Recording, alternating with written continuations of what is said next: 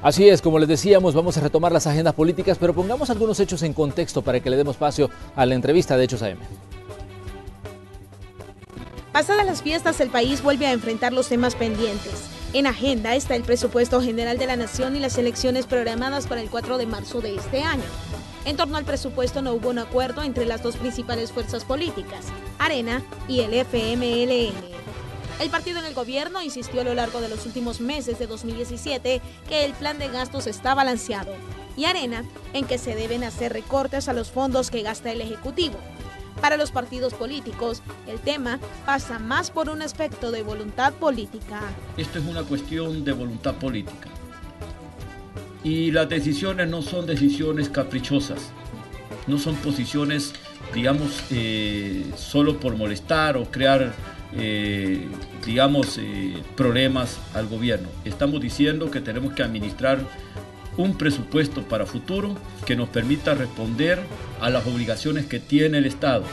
Algunos voceros de Arena y el FMLN afirman que el presupuesto podría ser aprobado en la primera plenaria de 2018, es decir, la que tendrá lugar esta semana.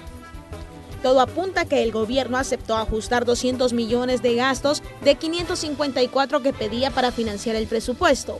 Al final, serían aprobados 354 millones. Algunas fuentes políticas consultadas por Noticiero Hechos dicen que existe un entendimiento de cifras, de ajustes y condiciones para votar. Pero aún falta que el gobierno y Arena revisen los decretos. Además, el partido Arena consultará el tema con los diputados de su fracción el 2 de enero. 2018 será un año muy activo a nivel político, dado que hay elecciones en marzo y este es el año previo a los comicios presidenciales. En 2017 mucho se cuestionó los 2,7 millones de dólares que erogó la Asamblea Legislativa para pagar bonos a diputados y empleados. De hecho, en estos últimos días, el director de Funde, el doctor Roberto Rubio, cuestiona que Arena, por ejemplo, no gana credibilidad porque sus diputados no rechazaron los privilegios. Dice que no se han librado de demonios del pasado y tampoco dan señales de quitarse privilegios. El director de Funde dice claramente que a pesar de la crisis que vive el país, los diputados, dice, gozan de privilegios como dinero para contratar personal, les asignan teléfonos de alta gama, seguro médico, dos bonos por año equivalente a dos salarios, pasaporte diplomático, viajes, viáticos, entre otros. Esta mañana hablaremos de política en la entrevista de Hechos AM. Comenzamos. Así es, bueno, y saludamos esta mañana al presidente del Partido Arena, el ingeniero Mauricio Iteriano. Ingeniero, un gusto iniciar este espacio de entrevistas en 2018 conjunto a usted. Muchas gracias Manuel, un gusto estar aquí contigo. Muy buenos días a todos y feliz año, feliz año nuevo a todos los salvadoreños que nos ven esta mañana. No sé si es la mejor manera de arrancar el año hablando de política, pero, pero aquí estamos, hablando con un año recién comenzado, con mucho optimismo y con mucha esperanza para lo que viene en nuestro país.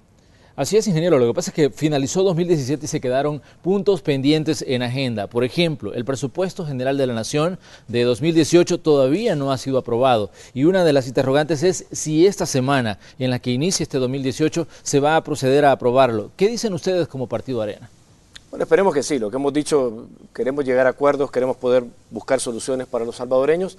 Ya prácticamente hay un acuerdo en cuanto a las cifras, que era obviamente difícil llegar a eso, pero pero ahora falta la redacción de todos los decretos y, todas todos los, pormenores que se deben dar alrededor de eso. Y eso pues dependerá de, de cuándo reanuden las labores de, las comisiones, etcétera. Que entiendo que ya al día de ahora comienzan ya varias comisiones a trabajar y dependerá de cuándo se programe la próxima sesión plenaria.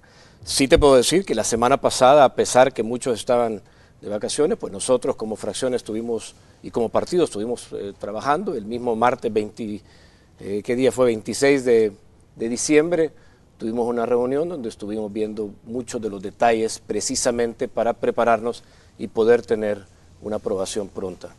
Pero ¿cuál es el acuerdo base en cuanto al tema presupuesto? Porque usted nos dice ya, ya hay un acuerdo en cuanto a algunas cifras, pero ¿cuál es ese, acuerdo base sobre el que se sentaría el proceso de aprobación del presupuesto 2018? Bueno, lo, lo bueno que sí se ha logrado que el gobierno acepte recortar casi 250 millones de dólares en gastos y, en, incrementar en algunos ingresos para que se reduzca la brecha que haya que financiar, porque Algo que es importante, Manuel, es que lo que se está buscando es que, el país no se siga endeudando de la manera que se, se ha venido endeudando. Ya lo vimos el resultado que tiene, casi 700 millones de dólares van a pago de intereses solo para este año 2018 y eso le está quitando recursos a poder eh, invertir más en educación, en salud, etcétera. Entonces, lo primero que te puedo decir es que sí ya, ya el gobierno aceptó reducir esa brecha de financiamiento en casi 250 millones. Lo otro que para nosotros era importante es que se fortalecieran algunas áreas, como el área de educación, como el área de salud, eh, el área también agrícola, se le está, se, ha pedido al gobierno que se, se proteja y que se invierta unas cantidades importantes para el área, para arreglar escuelas, para proveer medicinas, para apoyar el sector cafetalero que ha estado tan olvidado.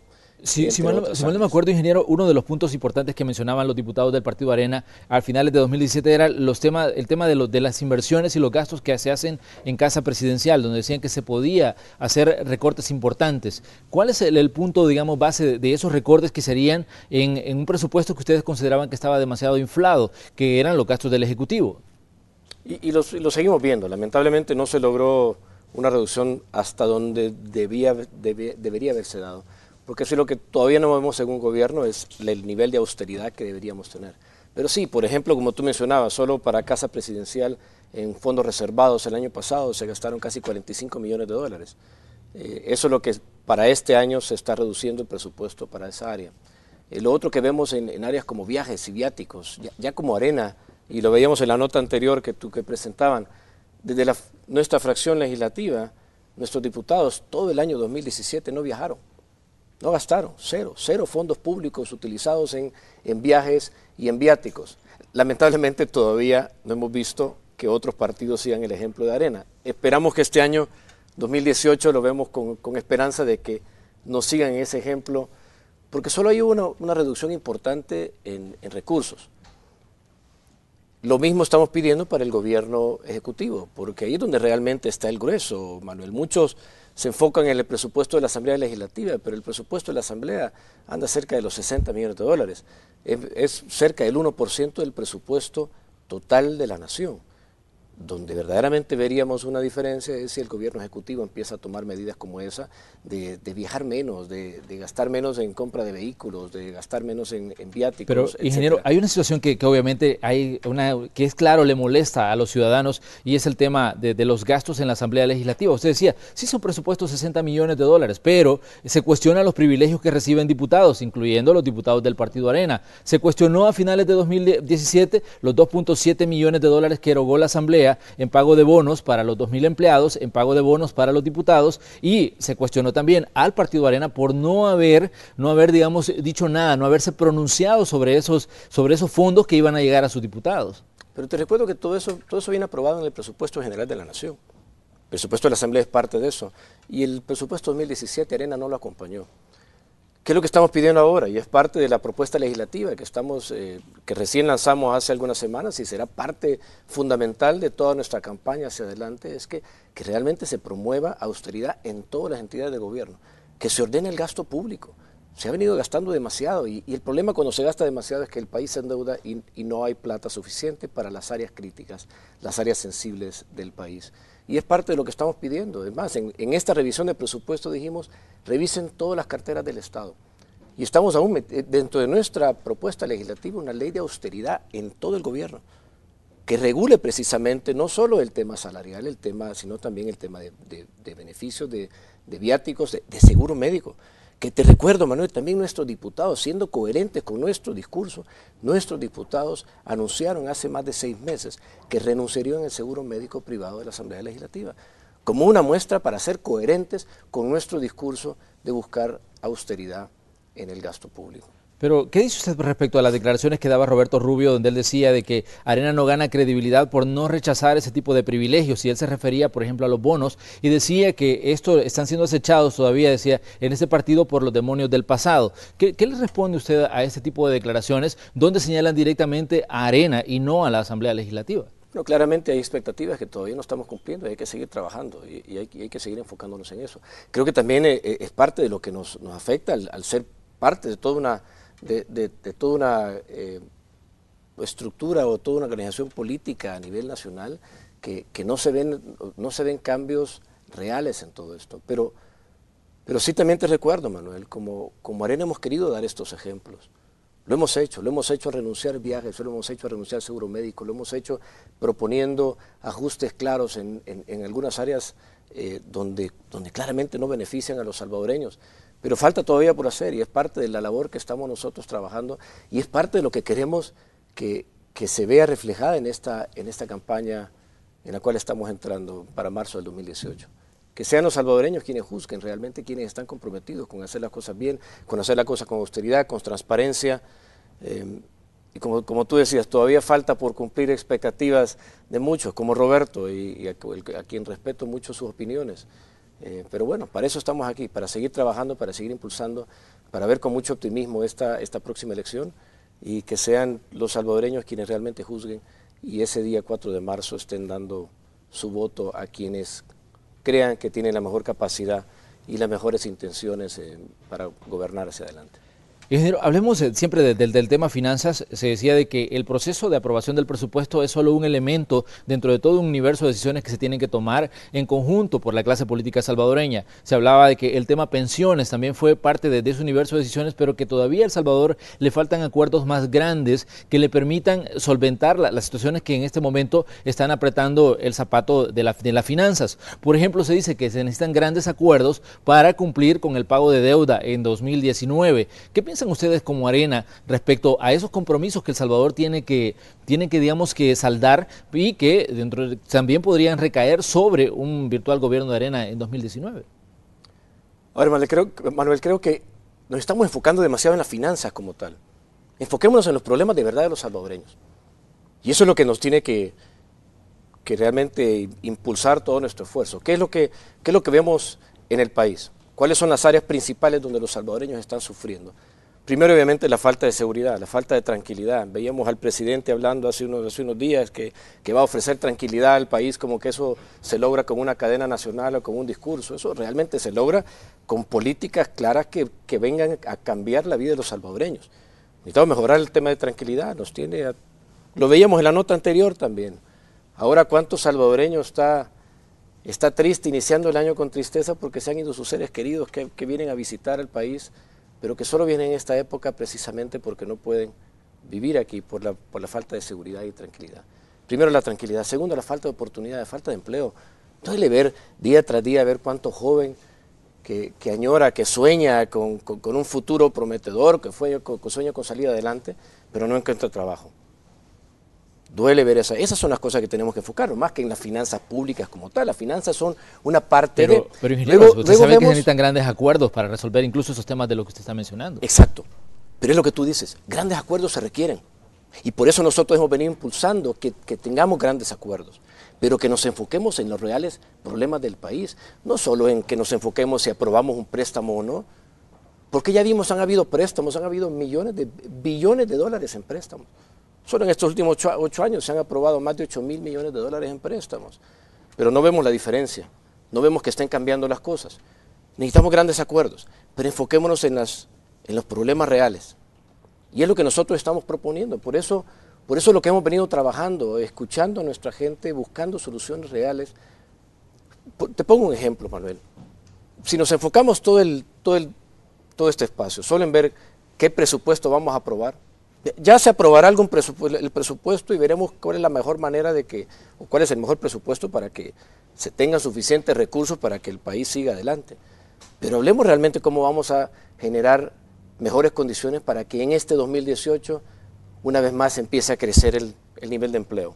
¿Cuáles son, las principales críticas que le hace usted al discurso que dio el presidente Salvador Sánchez Serén el 18 de diciembre? Justamente él hacía una especie de balance de, todas las áreas en las que, digamos, El Salvador ha tenido, según él, algunos avances en materia económica, decía, en materia de seguridad pública, en materia de educación y hablaba de diversos programas. Pero ¿cuáles son los señalamientos y los cuestionamientos que le hacen ustedes desde la oposición a ese discurso que se pronunció el 18 de diciembre?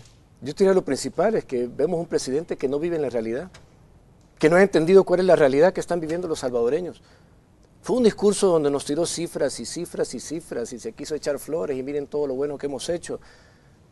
Pero vemos en la calle, vemos a todos los salvadoreños y lo dicen, lo dicen y lo vemos en las encuestas, lo vemos en cualquier programa de opinión, lo vemos en cualquier acercamiento que tengamos, en cualquier comunidad que vamos.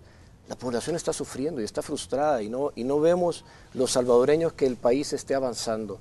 Y mi mayor crítica, como, como te decía, es que no, no vemos un, presidente que esté viviendo en la realidad de todos los salvadoreños y que la esté entendiendo.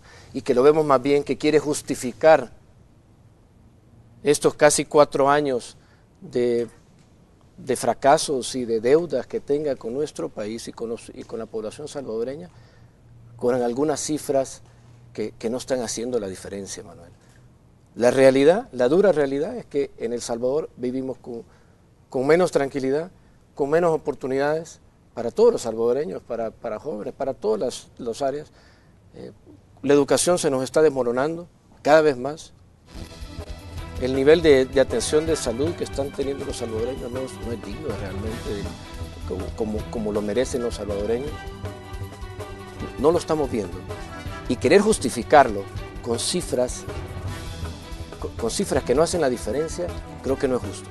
Pero ¿qué, le, ¿qué, le usted, ¿qué, le, dice usted, ingeniero, al ciudadano que, que, no cree en sí en los políticos y que no ve, digamos, Arena, FMLN, sino que ve a los políticos en general y no considera que, que, son creíbles las promesas que les hacen, que no son creíbles los proyectos que les plantean? ¿Qué le dice usted al ciudadano que nos, nos está viendo a través de la televisión o que nos escucha a través de Sonora en esta mañana de martes? Que tenemos que ver este 2018 con gran optimismo. Estamos empezando el año. El 2 de enero y así como, como todo año empecémoslo con optimismo, veámoslo como una hoja en blanco que tenemos y está en nuestras manos definir cómo va a ser el futuro del Salvador. Y no solo esto es un año, no solo comenzamos un año, es un año electoral, es un año en el cual como salvadoreños podemos dar un mensaje claro a todos los partidos y aceptaremos cualquier crítica, aceptaremos con humildad la responsabilidad que tengamos. Pero es un año que podemos construir un cambio, construir algo diferente para El Salvador, tanto 2018 como 2019. Así que veámoslo con optimismo, Manuel. Yo sí veo que, vienen cosas buenas, que vienen cosas mejores para El Salvador, pero tenemos que unirnos todos y empezar a exigirlo. Y, no dejarnos llevar con cadenas, con, con cifras, con mensajes. Juntámonos todos, unámonos todos y demos un mensaje contundente para que realmente se vea la diferencia, Manuel, en los próximos años para El Salvador. Muy bien, vamos a hacer una pequeña pausa comercial. Les invitamos a que continúen con nosotros. Ya regresamos con más de la entrevista de Hechos AM.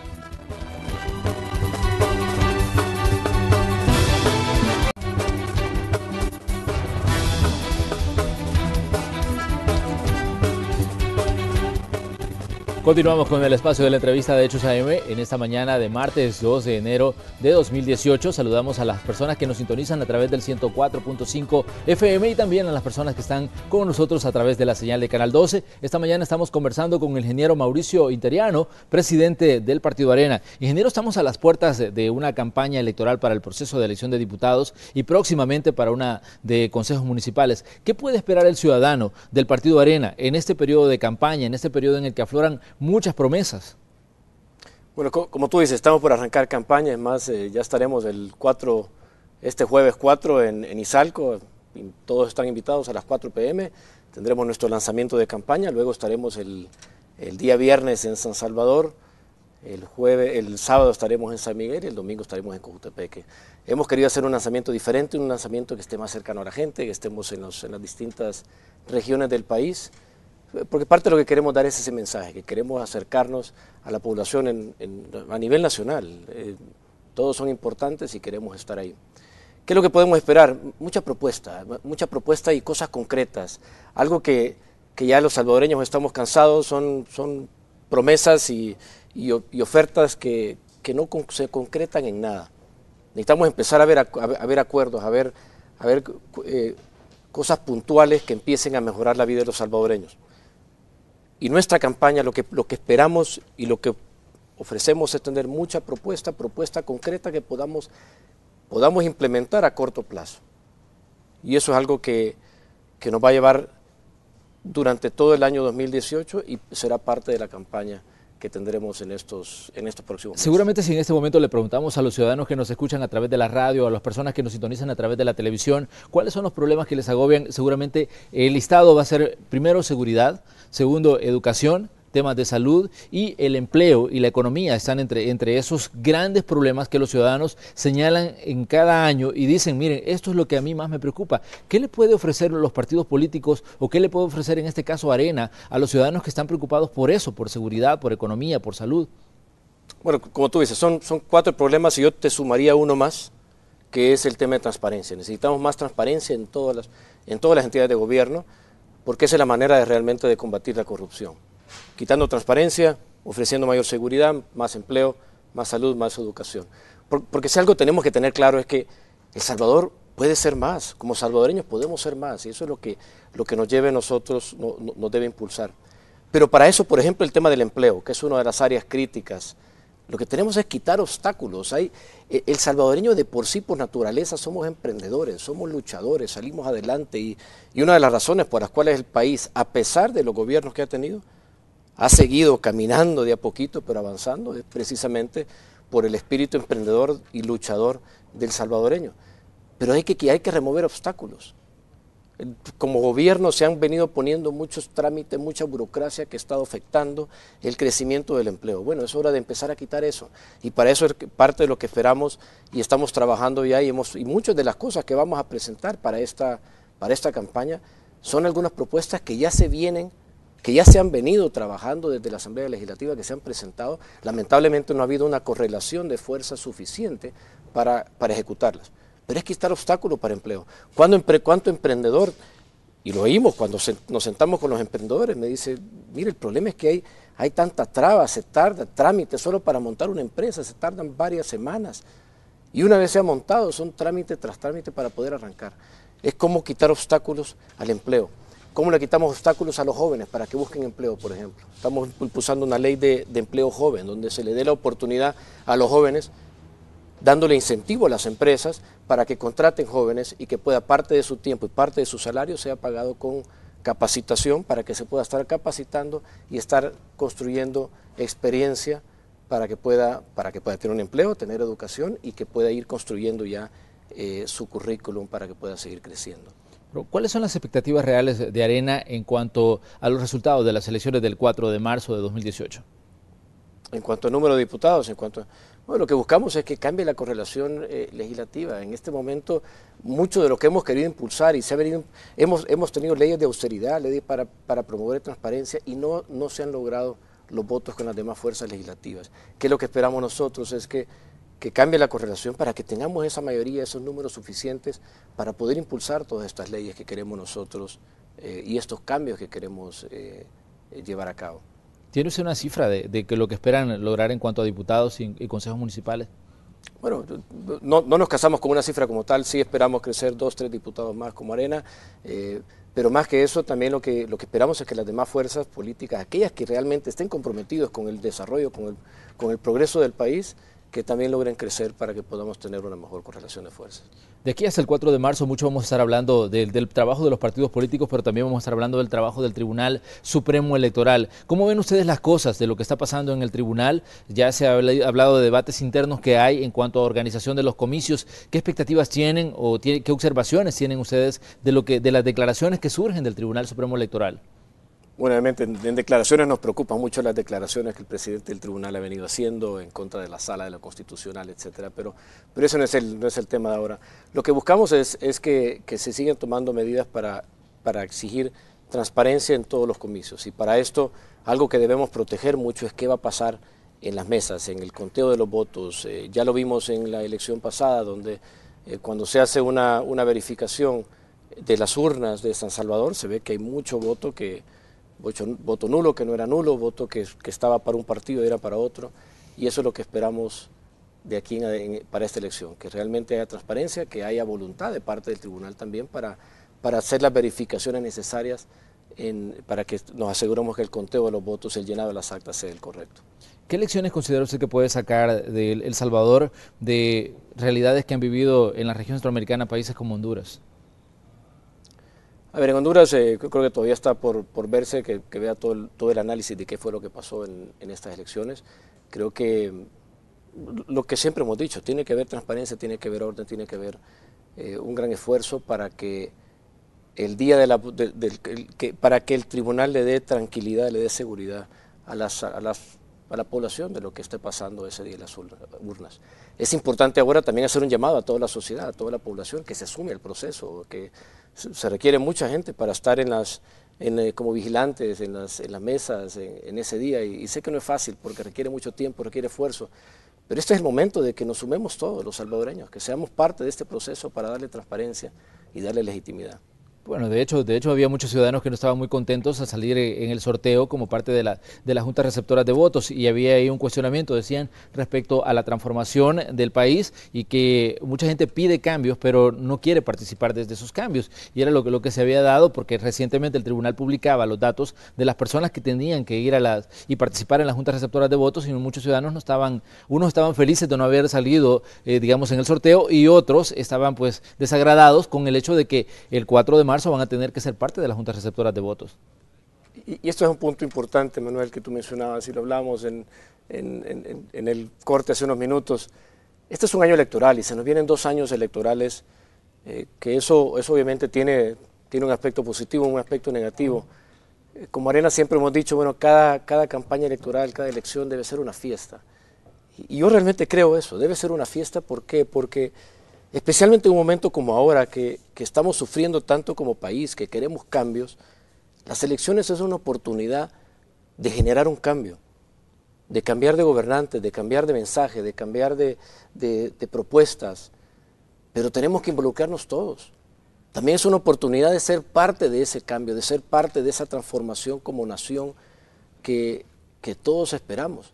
Y, ese involucramiento no solo es el día de la elección para ir a votar, sino involucrarse desde antes, participar en, la campaña, participar en el cuidado del voto, participar también en, pronunciarse para, generar esas exigencias, esas expectativas que, todos tenemos de los, de los gobernantes. Pero, pero, debe ser un año que lo veamos con optimismo, Manuel, y, y el mensaje a todos los salvadoreños, hay que involucrarse. Si queremos cambiar, si queremos transformar El Salvador, porque creo que todos sabemos que El Salvador puede ser más, que todos nosotros podemos ser más, pero necesitamos involucrarnos. Y una campaña electoral es una oportunidad de involucrarse. Como Arena las puertas están abiertas. Hemos seguido eh, afiliando a, todo aquel que quiere ser parte de nuestro partido. Estamos haciendo el llamado también para que se sumen para el cuidado del voto. Hemos, hemos abierto las puertas también para trabajar en el desarrollo de la propuesta legislativa. Eh, que queremos que sea, queremos que Arena sea de todos y que nuestras propuestas sean representativas de todos. Pero pero en resumen, Manuel, es, esto es una oportunidad de sumarnos, de ser parte de una transformación tan necesaria para nuestro país. Y esto el mensaje va para todos. Que veamos este 2018 con gran optimismo, porque vienen cambios para El Salvador. Estamos ya casi cerrando este espacio de la, entrevista, pero ¿qué va a pasar con el proceso interno de, elección del candidato presidencial? Ya vimos que solo hay ya tres contendientes. ¿Cómo, ¿Cómo ven ustedes, cómo evalúan estos cambios que se han dado en estas últimas semanas? Bueno, de entrada es un proceso que inédito para, nosotros en Arena. Y reto a cualquier otro partido que, lo haga con la transparencia y con la apertura, como lo hemos hecho nosotros hasta ahora. La elección, eso sí, la elección queda hasta el 22 de marzo, de, abril, perdón, siempre lo dijimos. Primero nos vamos a enfocar en las elecciones de diputados y alcaldes. Es lo que nos tiene aquí ahora, es lo que, en lo que estamos trabajando. Llegaremos a ese 4 de marzo a dar ese paso contundente y firme y luego nos preocuparemos por las las internas que nos llevarán hasta el 22 de abril. Muy bien, ingeniero, le queremos agradecer que haya venido a conversar con nosotros sobre estos temas que dominan las agendas políticas en este 2018, temas electorales, temas de país. Estamos a la expectativa de lo que puede ocurrir en la Asamblea Legislativa. Gracias, ingeniero Mauricio Interiano.